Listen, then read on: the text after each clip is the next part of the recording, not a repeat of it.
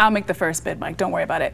Well, the summer concert season is upon us, and here to tell us what we can look forward to is DJ Anchor from Wire 96.3. Welcome to the show. How are you doing on Monday? Good morning. How are you? I'm good. I'm doing all right. You've got some good news to tell me about Usher doing something fantastic in his concert. Now, the last time I went to an Usher concert, he stepped out of his pants. And for some of the concert goers, that was considered special.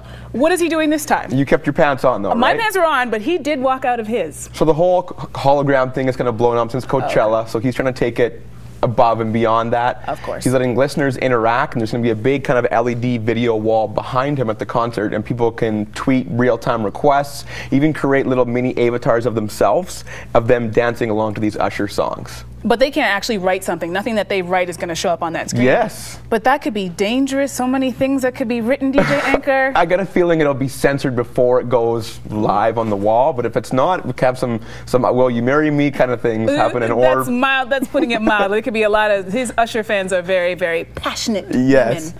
All right, well, let's talk about Sheryl Crow. The news came out last week that she has a brain tumor, and um, do you know any more information about that? Well, she had cancer back in 2006. She beat it, and she basically is saying, "I'm going to beat this too." Uh, she's had further tests; it is benign, and she says, "I'm just going to keep rocking on." She doesn't even care, loves music too much. She's, "I'm not even going to worry about it." You know So- what's really interesting? I actually saw some uh, concert footage of her, and she couldn't remember the words to like her top 10 hits that she'd sung a million times and she said that's what she knew something was wrong so it's very interesting actually to see that video where she didn't know anything she couldn't remember one single word and actually speaking of cancer um, tommy chong Yeah. just announced on the weekend that he has prostate cancer they're just regular people like us i guess right yes.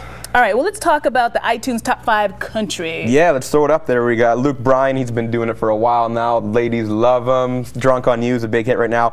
Eric Church, uh, Springsteen, Kip Moore. Something about a track. Ba- Basically, like total Saskatchewan songs, like "Summertime," "Windows Down," feel good kind of tunes. Uh, Kenny Chesney come over and Carrie Underwood, good girl who should look absolutely fabulous on the red carpet. when does she not look good she could wear a paper bag and she would look fabulous She makes Mike Fisher look a lot better. Let's just say that. he's a pretty good looking guy too He's got the hockey hair. He's got to get rid of it. Yeah, I like hockey hair. You don't like his hockey hair? I do because I miss mine, but Okay, I like his hockey hair. I think it makes him look very manly and studly and all athletic and stuff. All right, so there's some June events coming up. What concerts can we look forward to? Yeah, a couple of electronic DJs. Sak Noel, has a big uh, track called Loca People, kind of an infectious track. Um, and then uh, this guy who opened up for Deadmau5 when he was here in late December, Porter Robinson, he's like a 19 year old phenomenal DJ, producer. Uh, I interviewed him up on my SoundCloud right now. And then kind of something for everyone Mos Def, which is going to be crazy. I'm sorry, I just had a little bit of a moment. I was like, ah, I'm so excited about that concert. That's great. and he's kind of like musician now, like actor in all kinds of movies. He was in Italian Job, Dexter, the list goes on and on and on. he does so. everything. He's chief cook and bottle washer, that man. And another one of my favorites. Classic. Bryan Adams going to be in Regina. That's awesome. Yeah. I can't wait. That's on June 21st. Yes. All right, well, I got to get my tickets because I cannot miss my Bryan Adams. Summer's jam packed full of awesome shows. Yes, it is. Thank you so much for dropping by. Thank now you. it's time to head over to Mike to take a look at today's weather. What do you have for us, Mike?